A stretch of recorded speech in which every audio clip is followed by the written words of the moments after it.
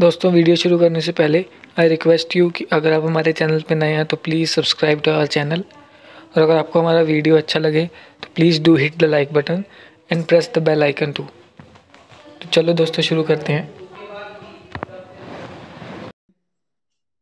Bacteria with a tuft of flagella at one end उसको हम क्या बोलते हैं? एक्चुअली हमारे पास जो फ्लैजिला की अरेंजमेंट होती है बैक्टीरियाज में, वो चार तरह की होती है। एक होता है मोनोट्राइकस एक होता है एम्फीट्राइकस एक होता है लोफोट्राइकस और एक पेरीट्राइकस जो मोनोट्राइकस होता है, उसमें क्या होता है? फॉर एग्जांपल हमारे पास एक बैक्टीरिया है। ये बैक्टीरिया बैक्टीरिया में अगर एक सिंगल फ्लैजिला किसी भी एक एंड से एक सिंगल फ्लैजिला राइज हो रहा हो, या तो वो इस एंड से हो या फिर एक इस एंड से हो, किसी भी एंड से अगर एक सिंगल फ्लैजिला राइज हो रहा होगा तो उसको बोलेंगे मोनोट्राइकस दूसरा होता है एम्फीट्राइकस एम्फीट्राइकस में क्या होता है? बैक्टीरिया के दोनों एंड से एक एक सिंगल फ्लैजिला जो है, वो single flagella for both end दोनों एंड से एक एक फ्लैजिला राइज हो रहा होगा तो उसको बोलते हैं एम्फी ट्राइकस एम्फी का मतलब ही होता है बोथ तो एक फ्लैजिला इस साइड से, एक फ्लैजिला इस साइड से तो उसको बोलते हैं एम्फी ट्राइकस एक होता है लोफोट्राइकस लोफोट्राइकस में क्या होता है कि एक टफ्ट ऑफ़ ए बैक्टीरिया है तो टफ्ट ऑफ़ फ्लैजिला एक गुच्छा होता है पूरा फ्लैजिला का, एक ही एंड से जो है, एक ही एंड से टफ्ट ऑफ़ फ्लैजिला राइज हो रहे होते हैं तो उसको बोलते हैं लोफोट्राइकस एक फोर्थ टाइप का होता है पेरीट्राइकस पेरीट्राइकस में क्या होता है कि बैक्टीरिया में मल्टीपल फ्लैजिला पूरी बॉडी से अराइज हो रहे होते हैं। पेरी का मतलब होता है पेरीफ्री पे। उसके आसपास उसकी जो आउटर लेयर है, उसकी हर जगह से फ्लैजिला अराइज हो रहे होते हैं। उसको बोलते हैं पेरीट्राइकस तो ये तो थे हमारे चार तरह की अरेंजमेंट्स फ्लैजिला की around the body of bacteria तो इसको हम, इस क्वेश्चन में क्या पूछा हुआ है? Bacteria with tuft of flagella एक एंड पे टफ्ट ऑफ़ फ्लैजिला प्रेजेंट है, जैसे कि आप इस इमेज में देख सकते हैं। तो एक टफ्ट पे अगर प्रेजेंट है, अभी मैंने बताया, उसको बोलते हैं लोफोट्राइकस नेक्स्ट क्वेश्चन है सैकोग्रेन्स आर ऑब्टेन फ्रॉम अब सैकोग्रेन्स क्या होता है? साबुदाना. साबुदाना जो होते हैं, वो किससे ऑब्टेंड होते हैं? साइकस से पाइनस से फर्न से या मॉस से.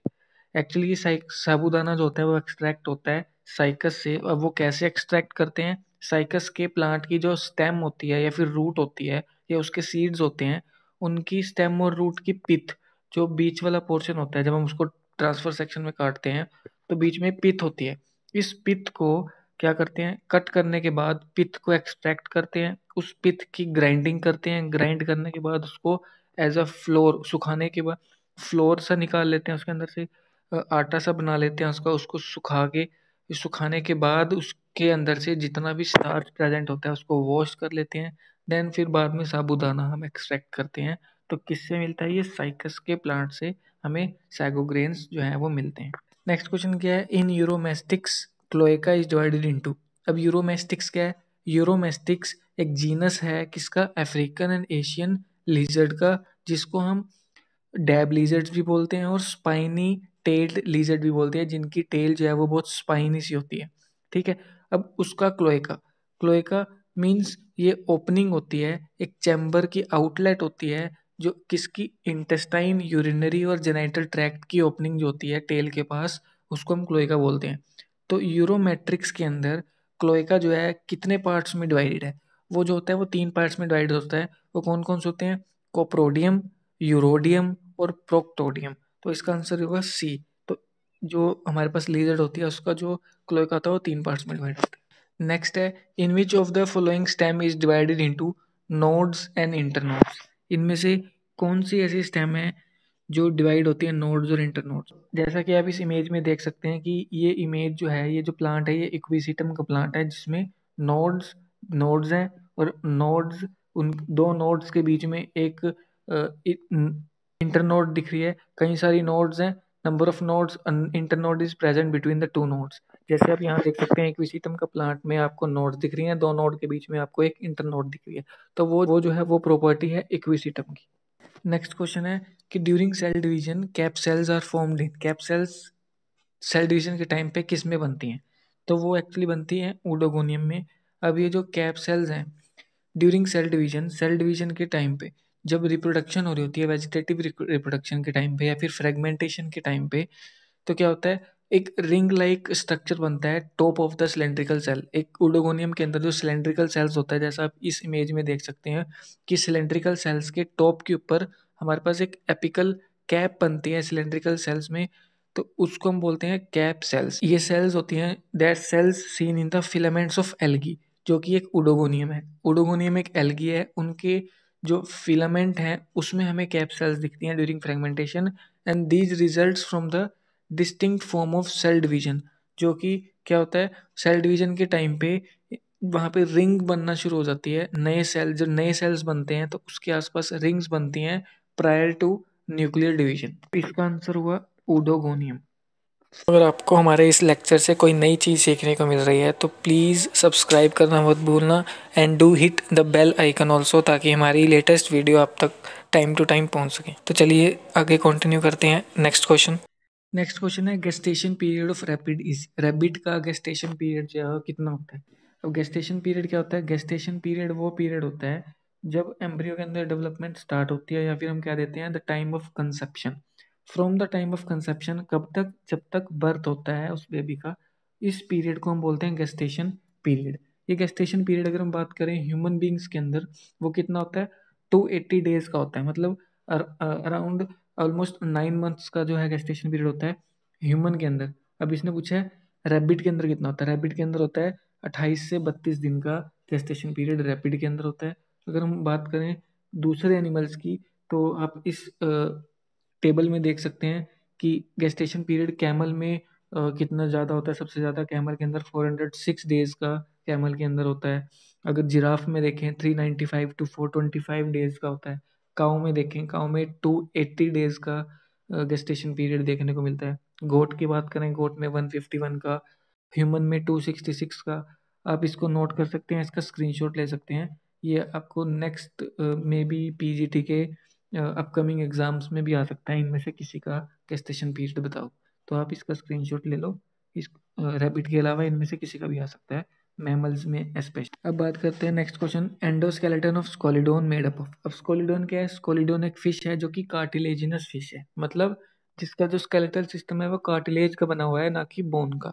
तो स्कोलिडोन जैसे आप इमेज में देख रहे हो कि ये स्कोलिडोन फ़िश है जो कार्टिलेजिनस है तो इसका आंसर है कार्टिलेज नेक्स्ट है which of the fungus is use in making of bread ऐसी कौन सी फंगस है जो ब्रेड में ब्रेड को बनाने में हम यूज़ करते हैं, जब ब्रेड बनते हैं, उस तो उसमें वो फंगस यूज़ होती है तो वो है ईस्ट वो कैसे बनती है? देखो, ये रिएक्शन दिख रही है तो इसमें क्या होता है? ईस्ट को जब हम फ्लोर के साथ मिक्स करते हैं और उसके अंदर शुगर कंटेंट भी प्रेजेंट होता है तो उसके अंदर वाटर मिलाने के बाद वो डफ बन जाता है. जो शुगर प्रेजेंट होती है, उस डफ के अंदर वो शुगर उस, वो ईस्ट क्या करता है? उस शुगर के साथ कुछ एक ऑप्टिमम टेम्परेचर में कार्बन डाइऑक्साइड रिलीज़ होती है, जो कि डफ को फुला देती है राइज कर देती है मतलब ईस्ट जो है, ईस्ट शुगर के साथ रिएक्ट करके ये ब्रेड की मेकिंग प्रोसेस जो है वो कंप्लीट करती है तो इसका आंसर है ईस्ट। नेक्स्ट है the family Leguminosae is economically important as its member produced जो लेग्यूमिनेसी फैमिली है, वो इकोनॉमिकली इम्पोर्टेंट है, क्यों? क्यों ये एक कुछ क्या प्रोड्यूस करती है। इसके मेंबर जो है वो क्या प्रोड्यूस करते हैं? सीरियल्स ऑयल्स फाइबर्स और पल्सिस जो लेग्यूमिनेसी फैमिली के मेंबर हैं, वो मेनली पल्सिस प्रोड्यूस करते हैं, इसीलिए वो है इकोनॉमिकली इम्पोर्टेंट है। नेक्स्ट है कि सीट वोम सीट वोम जो है इस अल्टरनेटिव नेम ऑफ़ किसका दूसरा नाम है? सीट वोम जो है, वो एक्चुअली पिन वोम का नाम है, जिसको हम एंटीरोबियस भी बोलते हैं। एंटीरोबियस एक साइंटिफिक नेम है, जिसका दूसरा कॉमन नेम है थ्रेड वोम इसको हम थ्रेड वोम भी बोल देते हैं। ये थ्रेड की तरह दिखता है। इसको हम ये क्या एक्चुअली है क्या एंटीरोबियस जो है, ये एंटीरोबियस जो है एक निमेटोड है, एक राउंड वोम है, जो कि एक इंटेस्टाइनल पैरासाइट है, जो क्या है ह्यूमन की इंटेस्टाइन जो है, उसका पैरासाइट है, उसके अंदर रहता है। It inhabits intestine of human ठीक है? ये वेरियस डिसीज कोज करता है, जैसे एंटीरोबियसिस जहाँ एंटीरो वर्ड आ जाता है, इसका मतलब होता है इंटेस्टाइन तो ये एंटीरोबियसिस कोज करता है, जो कि एक, इसका आंसर हुआ पिन वोम जिसको हम थ्रेड वोम भी बोलते हैं। तो नेक्स्ट टाइम पिन वोम की जगह वहाँ पे थ्रेड वोम भी आ सकता है थ्रेड वोम आएगा, या फिर एंटीरोबियस भी आ सकता है। नेक्स्ट क्वेश्चन है नेक्स्ट क्वेश्चन क्या है? नेक्स्ट क्वेश्चन है कि टेनिया सेजिनेटा जो टेनिया की दो स्पीसीज का नाम दिया है यहाँ पे टेनिया सेजिनेटा और टेनिया सोलियम जो सेजिनेटा है, वो सोलियम से कैसे डिफर करती है, कैसे अलग है? As its lack it lacks तो इसमें रोस्टेलम जो होता है ना, रोस्टेलम अपसेंट होता है, ठीक है? रोस्टेलम क्या है? रोस्टेलम जो है, एक नोब लाइक प्रोट्रूजन है नोब लाइक एक एक्सटेंशन है, जो कि एंटीरियर सरफेस से निकलती है बाहर, और वो स्पाइनी स्ट्रक्चर है एक स्पाइनी सा स्ट्रक्चर है, ठीक है? जब वो रिट्रैक्ट होता है ना तो वो एक हुक लाइक रोज एक पूरी एक रो होती है सर्कुलर मैनर में तो हुक्स प्रेजेंट होते हैं जो कि उसके प्रे के साथ, जो कि उसके होस्ट के साथ अटैचमेंट में हेल्प करते हैं, ठीक है? ये जो रोस्टर रोस्टेलम है रोस्टेलम टेनिया सोलियम में प्रेजेंट होता है, लेकिन सेजिनाटा में एबसेंट होता है, इसीलिए ये दोनों डिफर करते हैं, बाकी ज़्यादा डिफरेंस नहीं है। नेक्स्ट क्वेश्चन है which one of the following is edible fungus इनमें से कौन सी ऐसी फंगस है जो हम खा सकते हैं? तो आपने मशरूम का नाम सुना होगा, जिसको हम अगेरिकस भी बोलते हैं। तो हम mushroom as a vegetable use करते हैं, जो कि एक एडिबल होती है फंगस तो इसका आंसर है एगेरिकस ए नेक्स्ट है when a virus attack the bacterium जब वायरस बैक्टीरिया पे अटैक करता है तो कौन सा ऐसा मटेरियल है वायरस का, जो बैक्टीरिया के अंदर मतलब होस्ट के अंदर एंटर करता है? पार्ट होता है न्यूक्लिक एसिड न्यूक्लिक एसिड अब जैसे आप इस इमेज में देख रहे हो कि न्यूक्लिक एसिड जो है थ्रेड लाइक स्ट्रक्चर इधर डीएनए और आरएनए वो बैक्टीरिया के अंदर एंटर कर रहा है। ऐसे प्रोटीन कोट वहीं रहता है जो एंटर करता है पार्ट वो होता है न्यूक्लिक एसिड ऑफ़ वायरस जो होस्ट के अंदर एंटर करके उसके होस्ट के डीएनए के साथ मिलके उसी की ही रेप्लिकेशन मशीनरी को यूज़ करके अपने नंबर इंक्रीज करता है। कैसे डीएनए रेप्लिकेशन करवा के और अपने नंबर इंक्रीज करवाने के बाद वो वायरस मल्टीप्लाई कर जाता है, है और उस होस्ट से बाहर निकल के दूसरे होस्ट को इन्फेक्ट करता है। दोस्तों, मैंने एक ऑलरेडी एक एनिमेटेड वीडियो बनाई हुई है कि कैसे वायरस अपने होस्ट को या फिर किसी ऑर्गेनिज्म को इन्फेक्ट करता है और कैसे अपना न्यूक्लिक एसिड या जेनेटिक मटेरियल इंसर्ट करता है उस ऑर्गेनिज्म के अंदर। तो आप ऊपर आई बटन पर क्लिक करके इस वीडियो को देख सकते हैं। नेक्स्ट क्वेश्चन है which of the cell organelle is also known as dictyosome इनमें से कौन सा ऐसा सेल ऑर्गेनल है जिसको हम डिक्टियोजोम भी बोलते हैं? तो वो है गोल्गी बॉडी डिक्टियोजोम होता क्या है? डिक्टियोजोम एक नेट लाइक स्ट्रक्चर है जो कि फ्लैट होता है। मेम्ब्रेन बाउंड कैविटी प्रेजेंट होती है, जो कि एक कैविटी है, जो कि मेम्ब्रेन बाउंड है, ठीक है, जिसको हम सिस्टर ने बोलते हैं। आपने सुना होगा सिस्टर ने, जो कि गोल्गी बॉडीज में प्रेजेंट होता है which comprises the Golgi apparatus ठीक है? प्रोटीन्स जो होते हैं, वो स्टोर्ड होते हैं डिक्टियोजोम्स के अंदर फॉर फर्दर ट्रांसपोर्ट अगर जो ट्रांसपोर्ट होंगी प्रोटीन ट्रांसपोर्ट होती है तो वो इसके अंदर स्टोर्ड रहते हैं। मॉडिफिकेशन होती है प्रोटीन्स की, फिर वो सोटिंग होती है, उनकी अरेंजमेंट होती है मतलब फिर वो पैक होते हैं वेसिकल्स के अंदर, वो सब कुछ डिक्टियोजोम के अंदर या फिर गोल्गी बॉडीज के अंदर हो रहा है। मतलब Golgi body is also known as dictyosome next आता है cadmium pollution is associated with the disease इनमें से कौन सी ऐसी डिसीज है जो कैडमियम पोल्यूशन से एसोसिएटेड है? तो एक डिज़ीज़ है itai itai itai itai disease में क्या होता है? इटाई इटाई डिज़ीज़ में mainly which is cause by the cadmium exposure जब हम कैडमियम से एक्सपोज होते हैं तो ये डिज़ीज़ होती है। ये डिज़ीज़ सबसे पहले रिकोगनाइज हुई थी जापान के अंदर और ये डिज़ीज़ मेनली उन ह्यूमंस में होती है जो कि इंडस्ट्रियलाइजेशन में है और जो मेनली कैडमियम से एक्सपोज होते हैं। इस डिज़ीज़ में मेनली होता क्या है? इस डिज़ीज़ में ओस्टियोमलेसिया होता है जिसमें सेवियर बोन पेन होते हैं और रीनल ट्यूबुलर डिसफंक्शन हो जाता है और ओस्टियोपोरोसिस होती है जिसमें कैल्शियम बोन में से निकलता है और बोन जो है वो कमज़ोर कमज़ोर होना शुरू हो जाती हैं। ठीक है? तो इसलिए इसका आंसर जो है, इटाई इटाई। नेक्स्ट क्वेश्चन है कि system controlling the involuntary action of the internal organ जो इंटरनल ऑर्गन है, उसका जो इन्वॉल्यूंटरी एक्शन है, उसको कौन सा नर्वस सिस्टम जो है, वो कंट्रोल करता है? नर्वस सिस्टम हमारे पास दो टाइप्स के हमने पढ़े हैं कि सेंट्रल नर्वस सिस्टम और पेरिफेरल नर्वस सिस्टम सेंट्रल में तो हमारे पास स्पाइनल कोड ब्रेन और ब्रेन स्टेम हो जाती है। पेरिफेरल में हमारे पास दो आते हैं ऑटोनोमस नर्वस सिस्टम और सोमैटिक नर्वस सिस्टम अब ऐसा कौन सा सिस्टम है जो इंटरनल ऑर्गन्स को कंट्रोल करता है तो ऑटोनोमस नर्वस सिस्टम जो होता है ना, वो रेगुलेट करता है इनवोल्यूंट्री प्रोसेसेस को including heart rate respiration digestion and pupil जो आँख में प्रेजेंट होता है प्यूपिल उसकी कॉन्ट्रैक्शन और रिलैक्सेशन को, ठीक है? तो जो भी ऐसे एक्शन जो हमारे कंट्रोल में नहीं है, जो अपने अब डाइजेशन है डाइजेशन हम नहीं कर पा, करवाते डाइजेशन अपने आप हमारे स्टमक में हो रही है इंटेस्टाइन में हो रही है तो इसमें हमारा कोई कंट्रोल नहीं है, ठीक है? रेस्परेशन रेस्परेशन में हमारा कंट्रोल नहीं है हार्ट रेट जैसे हम रेस्पिरेशन जैसे हम सो रहे हैं तो उसमें हम सोते हुए भी रेस्पायर कर रहे हैं। अब जैसे हार्ट रेट हार्ट अपने आप बीट कर रहा है, हम अपने कंट्रोल करके हार्ट को रोक नहीं सकते।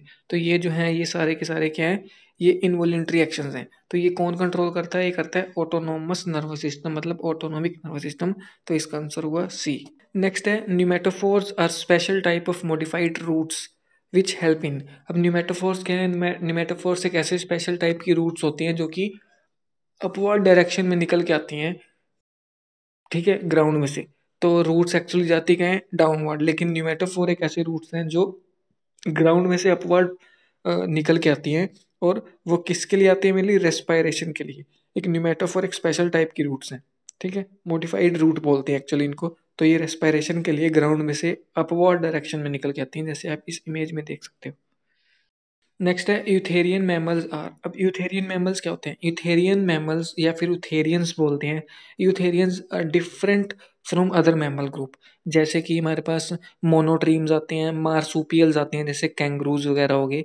इनसे अलग होते हैं यूथेरियंस मतलब ये जो मार्सूपियल एंड मोनोट्रीम्स हैं, ये जो ये नॉन प्लेसेंटल होते हैं, ठीक है? नॉन प्लेसेंटल ये एग ले करते हैं, लेकिन जो यूथेरियन मैमल्स हैं, वो वीवी पैरस होते हैं, वो एग ले नहीं करते, ये क्या करते हैं?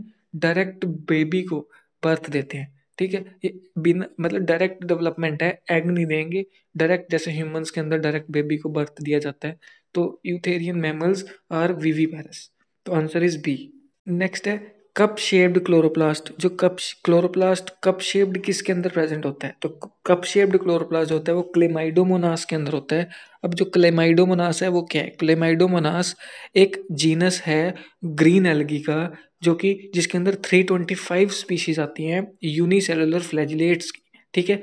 जो कि कहाँ पे होता है? स्टेगनेंट वाटर के अंदर, रुके हुए पानी के अंदर क्लेमाइडोमोनास पाया जाता है, ठीक है? उस क्लेमाइडोमोनास के अंदर आप इस इमेज जो आपको इमेज हो रही है, उसके अंदर इमेज उस इमेज में आप देख सकते हैं कि जो कप शेप्ड का क्लोरोप्लास्ट प्रेजेंट है क्लेमाइडोमोनास के अंदर so answer is B next है common name of fungia is fungia का कॉमन नेम क्या है? कॉमन नेम है मशरूम कोरल तो ये, इसका answer A mushroom coral is fungia next question है smallest proteinaceous infectious particles is known as तो इसका आंसर है प्रायंस अब प्रायंस होते क्या है? प्रायंस एक मिसफोल्डेड प्रोटीन्स होते हैं, जिनके पास एबिलिटी होती है, जो नॉर्मल प्रोटीन्स प्रेजेंट है ना हमारी बॉडी के अंदर, उससे चेंज होके एक मिसफोल्डेड शेप का प्रोटीन बना बना देते हैं, और ये नॉर्मली फैटल होते हैं ठीक है, और क्या करते हैं ये न्यूरो डिजेनरेटिव डिज़ीज़ जो है ह्यूमंस के अंदर कोज करते हैं और अदर मैमल्स के अंदर just by transmit their misfolded shape अपनी जो मिसफोल्डेड शेप होती है, उसको ट्रांसमिट कर देते हैं किससे? नॉर्मल शेप ऑफ़ प्रोटीन से। तो ये थे प्रायंस अब बात आती है, इसका आंसर तो हो गया प्रायंस अब वायरोइड्स और वायरस क्या होते हैं? वायरोइड्स होते हैं viroids consist of small naked single stranded RNAs होते हैं, जो क्या करते हैं डिज़ीज़ करवाते हैं प्लांट्स के अंदर। वायरस एक सब माइक्रोस्कोपिक इन्फेक्शियस एजेंट है जो क्या करता है रेप्लिकेट करता है सिर्फ़ होस्ट के अंदर। अगर होस्ट नहीं है तो वो रेप्लिकेट नहीं करेगा। तो virus infect all type of life forms next question है कि Schuffner's dots observed in erythrocytes are due to जो शफनर डोट्स होती हैं, वो ऑब्ज़र्व होती हैं erythrocyte because of the malaria malaria की वजह से जब मलेरिया होता है तो मलेरिया की वजह से यहाँ पे शफनर डोट्स बन जाती हैं। अब ये जो शफनर डोट्स होती हैं, ये मेनली इंपॉर्टेंट होती हैं for the identification of the species जो कि मलेरिया कोज करता है मलेरियल पैरासाइट कोज करता है। अगर हम ये डायग्नोसिस में देखते हैं कि शफनर डोट्स वाली स्टेज अगर दिख रही है तो इसका मतलब मलेरिया से इन्फेक्ट हो चुकी हैं। तो ये इसका आंसर है बी नेक्स्ट क्वेश्चन आता है कि trabeculated endodermis is found in तो ये एपिडर्मिस होती क्या है, पहले पता होना चाहिए। ये ट्रेबिकुलेटेड एपिडर्मिस वो एपिडर्मिस होती है जो कि इंटरप्टेड होती है by a large intercellular space मतलब एंडोडर्मिस के अंदर बड़े बड़े इंटरसेलुलर स्पेस होते हैं जिसमें एयर कैविटीज़ बोल देते हैं उनको. एयर कैविटीज़ प्रेजेंट होते हैं इंटरसेलुलर स्पेस प्रेजेंट होते हैं एंडोडर्मिस के अंदर. तो जैसे इस फिगर में देख सकते हो कि एंडोडर्मिस में लार्ज स्पेसिस प्रेजेंट हैं. तो इसको बोलते हैं हम ट्रेबेक्यूलेटेड एंडोडर्मिस तो ये मेनली होती है सिलेजिनाइला के अंदर. तो आंसर इज़ बी बैक्टीरियोफाज क्या है? बैक्टीरियोफाज इज़ बैक्टीरियोफाज एक वायरस है। बच्चे गलती कर देते हैं, इसको बैक्टीरिया समझ लेते हैं। तो बैक्टीरियोफाज एक वायरस है। फाज मीन्स वायरस जो कि बैक्टीरिया को इन्फेक्ट करता है। ठीक है? फाज वो वायरस है जो बैक्टीरिया को इन्फेक्ट करता है और अपना जेनेटिक मटेरियल उस बैक्टीरिया जो कि वो वायरस का होस्ट है, उस बैक्टीरिया के अंदर इंसर्ट कर देता है और उसको इन्फेक्ट कर देता है। फिर वो बैक्टीरिया उस वायरस के जेनेटिक मटेरियल को मल्टीप्लाई करता है और नंबर उसका बढ़ा देते हैं मतलब रिप्रोडक्शन करवा देते हैं, ठीक है? तो it is a virus which infect bacteria तो इसका आंसर है B next question is number of cranial nerves found in frog is frog के अंदर कितनी क्रेनियल नर्व्स प्रेजेंट होती हैं? तो होती हैं ट्वेंटी ठीक है? Twenty cranial nerves mainly found in the frog तो answer is C next question है कि हार्मोन कौन सा है जो हेल्प करता है इंसेक्ट की मेटामॉर्फोसिस में? तो मेटामॉर्फोसिस क्या होती है? मेटामॉर्फोसिस एक वो प्रोफाउंड चेंज है किसके अंदर इन फ्रॉम वन स्टेज जब देखो, जब एक चेंज जब कोई भी एक ऑर्गेनिज्म एक स्टेज से दूसरी स्टेज में जाता है ड्यूरिंग लाइफ साइकिल तो एक प्रोफाउंड चेंज आता है। जैसे, अब बटरफ्लाई की बात करते हैं तो बटरफ्लाई की जब डेवलपमेंट होती है, जब उसके एग में से हैच करता है एक ऑर्गेनिज्म जिसको हम एक स्टेज जिसको हम कैटरपिलर बोलते हैं, वो कैटरपिलर कैटरपिलर से प्यूपा ठीक है प्यूपा से अडल्ट बनता है। तो वो एक कैटरपिलर से प्यूपा वो मेटामोरफो ये जो स्टेजेस है सीरीज़ ऑफ़ इवेंट्स जो है ना उसको हमने मेटामोरफोसिस बोला। ठीक है तो मेटामोरफोसिस करने के लिए इंसेक्ट के अंदर कौन सा हार्मोन रिस्पॉन्सिबल है? तो कौन सा हार्मोन रिस्पॉन्सिबल है? वो होता है एक्डाइसोन एक्डाइसोन एक हार्मोन होता है जो कि मेटामोरफोसिस करवाता है, जो ये सीरीज़ ऑफ़ इवेंट्स जो कि स्टेजेस को कंप्लीट करवा रहा है।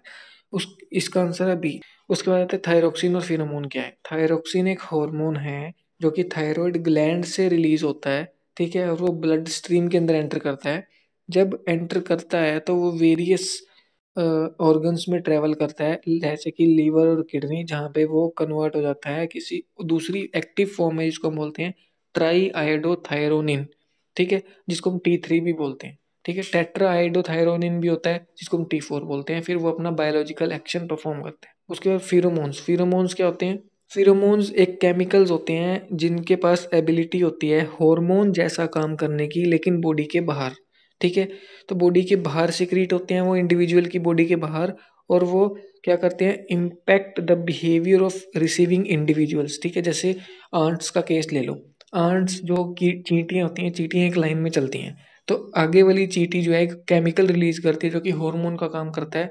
जो पीछे वाली चींटी को बताता है कि मैं इस डायरेक्शन में जा रही हूँ। तो एक केमिकल मैसेंजर ही है, जो कि बॉडी के बाहर रिलीज़ हो रहा है। नेक्स्ट है ovule ovule in which micropyle lies at one end with chalaza and hilum light opposite end ठीक है?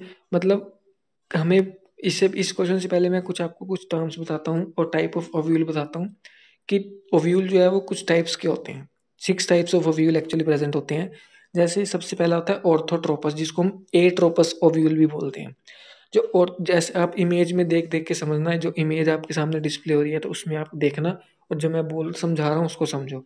ऑर्थोट्रोपस ओव्यूल, जिसको हम एट्रोपस ओव्यूल भी बोलते हैं, अब यहाँ पे ऑर्थो का मतलब होता है स्ट्रेट, ठीक है? स्ट्रेट ट्रोपस का मत एक्चुअल मतलब होता है कि टर्न, ठीक है? Straight turn. अब यहाँ पे देखो क्या है।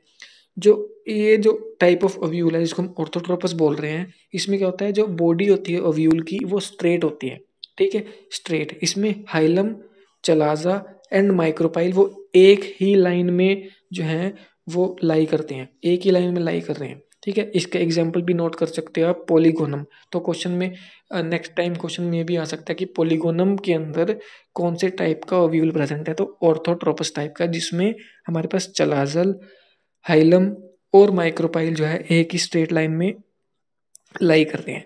उसके बाद आता है एनाट्रोपस ओव्यूल। ये जो एनाट्रोपस ओव्यूल है, एना का मतलब होता है बैकवर्ड ठीक है? तो body of the ovule become completely inverted यहाँ पे क्या होता है ओव्यूल की बॉडी पूरी कम्प्लीटली इन्वर्ट हो जाती है, जैसे कि आप इस इमेज में देख सकते हो। जब डेवलपमेंट होती है तो क्या होता है माइक्रोपाइल जो होता है, वो बिल्कुल क्लोज आ जाता है हाइलम के, ठीक है? हाइलम के बिल्कुल नज़दीक आ जाता है। तो उसके बाद नेक्स्ट आता है हेमी एनाट्रोपस हेमी का मतलब ही होता है आधा, ठीक है? हेमीट्रोपस ओव्यूल भी बोलते हैं इसको। तो इसमें क्या होता है? Body of the ovule is placed कहाँ पे? ट्रांसवर्सली एट राइट एंगल अब आप देख सकते हैं कि यहाँ राइट एंगल पड़ा हुआ है फ्यूनिकल के, ठीक है? उस फ्यूनिकल के राइट एंगल होता है। तो micropyle and chalazal and straight line अगर हम माइक्रोपाइल और चलाजल एंड की बात करें तो वो तो स्ट्रेट लाइन में है, ठीक है? और फ्यूनिकल के नाइन्टी डिग्री इसको बोलते हैं हम हेमी एनाट्रोपस उसके बाद आता है कैम्पाइलोट्रोपस। कैम्पाइलोट्रोपस में क्या होता है? कर्व्ड व्यूल प्रेजेंट होता है, जहाँ पे माइक्रोपाइल ऑलमोस्ट टच करता है ओव्यूल को। ठीक है? उसके बाद आता है एम्फीट्रोफस एम्फी एम्फीट्रोफस में क्या होता है? जो बॉडी होती है एम्ब्रियो की, वो कर्व्ड हो जाती है और हॉर्स शू शेप की दिखती है, पूरी कर्व्ड हो जाती है, ठीक है? हॉर्स शू शेप की दिखेगी और उसके बाद है सिरसिनोट्रोपस जिसमें क्या होता है in this type length of the funicle increased और वो कवर कर लेती है पूरे के पूरे ओव्यूल को, ठीक है? आप इस इमेज में देख सकते हो, जो सिरसिनोट्रोफस होता है सिरसिनोट्रोफस में पूरा 360 घूम के पूरा कवर हो गया। जो उसकी लाइनिंग है ना, वो उस उस ओव्यूल को पूरा कवर कर लेती है। तो इसका आंसर है ऑर्थोट्रोफस जिसमें क्या हो रहा है कि बॉडी ऑफ़ द ओव्यूल अब इसमें क्या है माइक्रोपाइल जो है लाई एट वन एंड और चलाजा और हाइलम जो है अपोजिट एंड पे है। नेक्स्ट है the two main components of lichens are अब लाइकेंस क्या है लाइकेंस हमें पता है म्यूचुअल रिलेशनशिप है एल्गी और फंगी का तो इसका आंसर है एल्गी और फंगी डी जो कि एक लाइकन जो हमें पता है कि इंडिकेटर भी होते हैं पोल्यूशन के मतलब लाइकन्स वहाँ होते हैं जहाँ पे पोल्यूशन बहुत ही कम होते हैं। वहाँ नहीं ग्रो कर पाते जहाँ पे पोल्यूशन की पोल्यूशन का जो पोल्यूशन जो है वो ज़्यादा है। नेक्स्ट आता है pectin is absent in which word इनमें से कौन सा वर्ड है जिसमें पैक्टिन एबसेंट होता है? पैक्टिन होता क्या है? पैक्टिन एक स्ट्रक्चरल एसिडिक हेट्रोपोलिसैकेराइड है कार्बोहाइड्रेट जिसमें क्या होता है? इट कंटेन मतलब ये किसमें प्रेजेंट होता है? Primary and middle lamella and cell wall of the mainly terrestrial plant अब यहाँ पे बात करें बर्ड्स की। ये यहाँ पे ऐसा कौन सा बर्ड है जिसमें पैक्टिन एबसेंट होता है? वो पैक्टिन होता है कीवी कीवी के अंदर जो है वो पैक्टिन जो है एबसेंट होता है। नेक्स्ट आता है Nostoc Nostoc is a type of अब नोस्टोक क्या है? नोस्टोक जो है, जिसको हम एनाबीना नोस्टोक भी बोलते हैं, वो एक ब्लू ग्रीन एलगी है। तो आंसर इज़ ए ये जो ब्लू ग्रीन एलगी है, इसको हम साइनो बैक्टीरिया भी बोलते हैं। तो साइनो बैक्टीरिया इसके पास एक स्पेशलाइज सेल प्रेजेंट हो इसको हम हेट्रोसिस्ट बोलते हैं, वो हेट्रोसिस्ट नाइट्रोजन फिक्सेशन में हेल्प करते हैं, जो कि प्लांट के लिए यूजफुल है। नेक्स्ट आता है pneumatic bones pneumatic bones are found in pneumatic bones क्या होती हैं? न्यूमेटिक बोन्स वो बोन्स होती हैं जो बर्ड्स के अंदर प्रेजेंट होती हैं, जिनके अंदर एयर कैविटीज प्रेजेंट हैं, जो कैविटीज कैविटीज के होने की वजह से बोन में उसको लाइट वेट का बना देती है और वो लाइट वेट जो है लाइट वेट की वजह से बर्ड जो है वो फ्लाई कर पाते हैं. लेकिन जो न्यूमेटिक बोन्स हैं, वो ह्यूमंस में भी प्रेजेंट होती हैं. न्यूमेटिक बोन्स ह्यूमंस में जैसे मैगजिला हो गया फ्रंटल बोन होगी स्फिनोइड बोन जो नोज़ की बोन होती है, वो बोन होगी इथमोइड बोन ये भी सारी न्यूमेटिक बोन्स हैं। ऐसा नहीं है कि बर्ड्स में प्रेजेंट हैं, हमारे फेशियल बोन्स में भी जो है न्यूमेटिक बोन्स होती हैं तीन चार टाइप्स की न्यूमेटिक बोन्स हैं। तो ये ऐसी बोन होती है इसके अंदर एयर कैविटीज प्रेजेंट होती है, उसको लाइट एंड वेट बना देती है। तो ये मेनली प्रेजेंट होती है पीजन एक बर्ड है तो पीजन के अंदर प्रेजेंट होगी। नेक्स्ट क्वेश्चन है कि क्रॉसिंग ओवर जो होती है occurs in meiosis during meiosis के किस स्टेज में हमारे पास क्रॉसिंग ओवर होती है? तो crossing over mainly prophase one में होती है। तो आंसर इज़ प्रोफेज वन लेकिन अब नेक्स्ट टाइम क्वेश्चन ये आ सकता कि प्रोफेज वन का कौन सा ऐसा स्टेज है? क्योंकि प्रोफेज में भी आगे पाँच तरह के स्टेजेस होते हैं प्रोफेज वन में ऑफ़ म्योसिस वन तो वो पाँच तरह के स्टेज होते हैं लेप्टोटीन जाइगोटीन पैकिटीन डिप्लोटीन और डायकाइनेसिस ठीक है? तो अब आगे क्वेश्चन आ सकता है कि प्रोफेज वन के किस स्टेज में क्रॉसिंग ओवर होती है? तो वो है पैकिटीन पैकिटीन स्टेज के अंदर क्रॉसिंग ओवर स्टार्ट हो जाती है। लेकिन क्रॉसिंग ओवर बनने के लिए जो स्ट्रक्चर बनता है, ठीक है? वो स्ट्रक्चर स्टार्ट होना पहले, बनना पहले स्टार्ट हो जाता है। लेकिन क्रॉसिंग ओवर स्टार्ट जो होती है, वो पैकेटीन में होती है, ठीक है?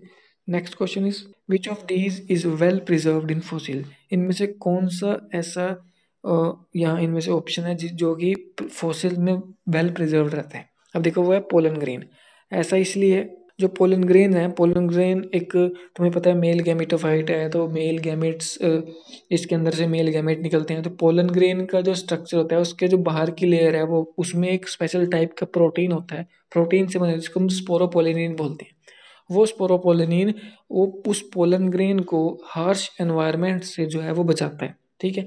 उस प्रोटीन की वजह से वो लॉन्ग टाइम के लिए जो है वो सर्वाइव भी कर पाता है। इसीलिए फोसिल्स में सबसे ज़्यादा प्रिजर्व जो है वो पोलन ग्रेन रहता है because of the presence of sporopollenin protein next question है motile sperms of Pila is known as अब मोटाइल स्पाम पाइला के अंदर वो होता है यूपायरीन ठीक है? यूपायरीन इसका आंसर है यूपायरीन लेकिन अब मैं तुम, आपको तीन और टाइप के स्पाम बताऊँगा जो इसके अंदर प्रेजेंट होते हैं, जैसे यूपायरीन तो बता दिया। यूपायरीन जैसे आप इमेज में देख सकते हो यूपायरीन जो स्पाम है, उसकी लॉन्ग टेल होती है और उसके टिप के ऊपर एक स्पाइरल शेप की बॉडी प्रेजेंट होती है।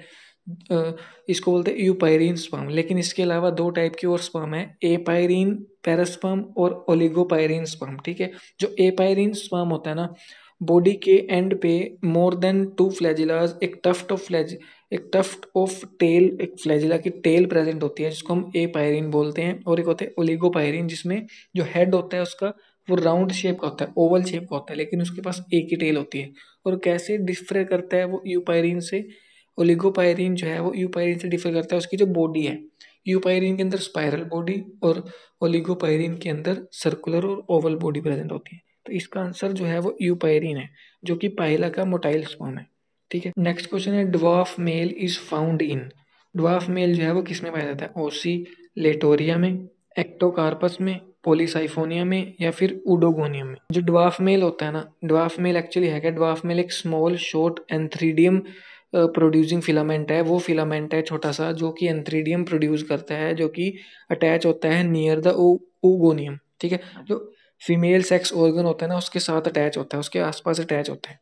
ये जो ड्वाफ मेल है ये कहाँ से डिराइव होता है? ये डिराइव होता है repeated cell division of multiflagellate जो मल्टीफ्लैजिलेट एंड्रोस्पोर्स प्रेजेंट होते हैं ना हमारे पास, वहाँ से उसकी जो सेल रिपीटेड सेल डिवीज़न होती है ना, वहाँ से एक ड्वाफ मेल राइज होता है, वहाँ से डिराइव होता है। ठीक है? जब ऊगोनियल मदर सेल डिवाइड होते हैं और वो एक सोलन ऊगोनियम बनाते हैं, जो कि एक सपोर्टिंग सेल के साथ बाइंड होते हैं। तो इसका आंसर है ड्वाफ मेल जो है dwarf male is mainly present in Oedogonium next question है bryophytes are also known as bryophytes जो होते हैं, उनको हम क्या बोलते हैं? उनको हम एम्फीबियंस ऑफ़ प्लांट किंगडम भी बोलते हैं। जैसे एम्फीबियंस वो स्पीशीज होते हैं, जो कि that can live both on earth में भी और वाटर में भी।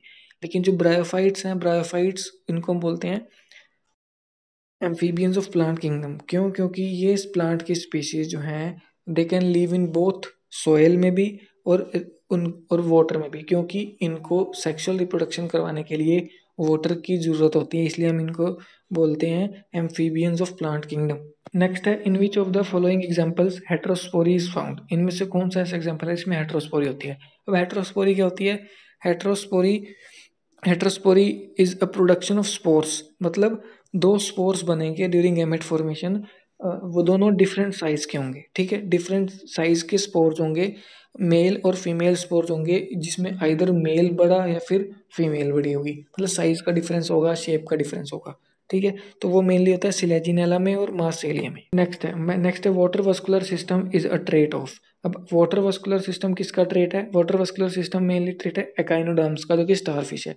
स्टारफिश के अंदर एक special type of vascular system present होता है, जो कि वाटर वस्कुलर सिस्टम बोलते हैं। इसमें स्पेशल टाइप की एक तुम कह सकते हो पाइपलाइंस प्रेजेंट है ट्यूब्यूल्स प्रेजेंट हैं, एक स्पेशल टाइप्स के।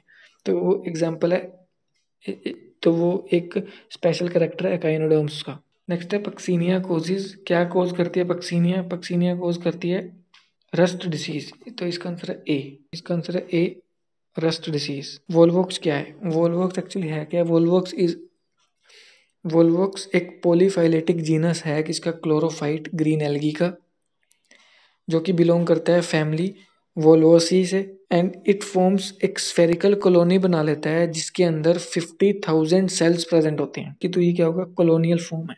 तो आंसर है इसका डी नेक्स्ट आता है कि edible part of the fruit coconut is तो कोकोनट के अंदर एडिबल पार्ट क्या होता है, जिसको हम खाते हैं मतलब जिसको हम यूज़ करते हैं, वो है एंडोस्पर्म तो आंसर है इसका बी एंडोस्पर्म नेक्स्ट क्वेश्चन है कि winged pollen grains are found in winged pollen grains किसमें पाए जाते हैं? तो पाइनस एक प्लांट है, जिसमें विंग पोलन विंग्ड पोलन पाए जाते हैं. अब विंग्ड पोलन होते क्या है? विंग्ड पोलन जो होते हैं, वो पोलन ग्रेन पोलन ग्रेन हमें पता है, दो लेयर होती हैं एक्साइन और इंटाइन जो बाहर की लेयर है, उसको हम आउटर एक्साइन बोलते हैं. वो एक्साइन का एक्सटेंडेड पार्ट होता है, ठीक है? दो लेटरल साइड्स से एक विंग लाइक स्ट्रक्चर निकल रहा होता है पोलन ग्रेन्स का, जिसकी वजह से हम इसको बोलते हैं विंग्ड पोलन ठीक है? ये करेक्टरिस्टिक फीचर है पाइनस का। पाइनस के अंदर विंग्ड पोलन पाए जाते हैं तो answer is B next question है unique character of Annelida is Annelida का यूनिक करेक्टर है, जो कि नेफ्रीडिया है। अब different type of nephridias present होते हैं एनालिडा के अंदर। जैसे आप इस डायग्राम में देख सकते हैं अलग अलग टाइप के नेफ्रीडियाज प्रेजेंट हैं। आंसर इसका नेफ्रीडिया आंसर इसका नेफ्रीडिया जो कि एक यूनिक करेक्टर है एनालिडा का। नेक्स्ट क्वेश्चन है litmus litmus is obtain from अब लिटमस कहाँ से ऑप्टेंड होता है? Litmus actually obtain from lichen कुछ प्रोसेसेस होती हैं, वो प्रोसेस कंप्लीट करने के बाद हमें एक लिटमस मिलता है। वो प्रोसेस मेनली कहाँ से ऑप्टेन होता है? लाइकन से।